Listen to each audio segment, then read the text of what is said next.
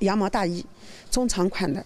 结果呢，他给我发过来，发了一条短款，而且这个短款也压根就不是我的码，也不是我的选的衣服，因为我选的衣服明显是这里有一个标志的，那这个呢都没有的。那我说这个衣服拒收，我当场就手机上就下了菜鸟果果，他过来拿了，钱就不是闪电退货的嘛，因为我信誉比较良好，就这样退回来了。过了两天，我接到这个商家的电话，他说这件衣服有膏药的味道。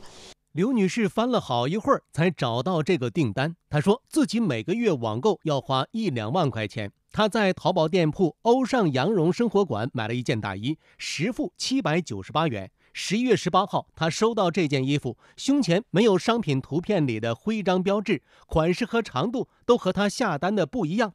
把衣服寄回后，十一月二十号，对方在平台上问她：“亲，你最近是贴了膏药吗？寄回的衣服有味道。”衣服的快递包装上写着“拒收，药膏味浓”。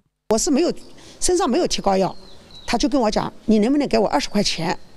就是我要去干洗。”那我跟他讲：“我给你二十块钱，这证明我这件衣服我穿过了。我首先我没有穿过，因为不是我的码，也不是我的款。我也我的人个子在的，我一百三十三十二斤了，我这个衣服我穿不进去的。我说我没有穿过。”刘女士手上这件衣服吊牌和防盗扣都在。十一月二十一号，店家告诉刘女士，因为自己身上有膏药味，所以闻不出来，叫别人闻一下就知道了。刘女士说，让别人闻了，都说没有膏药味。记者凑近闻了闻，没有闻到膏药的气味。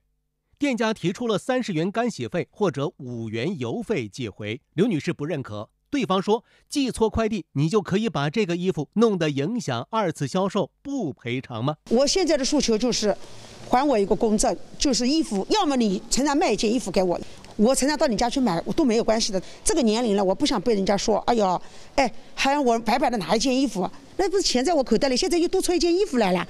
刘女士说，愿意出钱重新买她要的那件衣服，这件衣服她不要，也不想白白拿着。之前他联系了平台申诉，不过还是没有解决。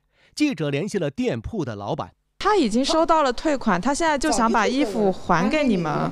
那可以啊，那那退给我们了。哦，那你们是不会拒收的，对吗？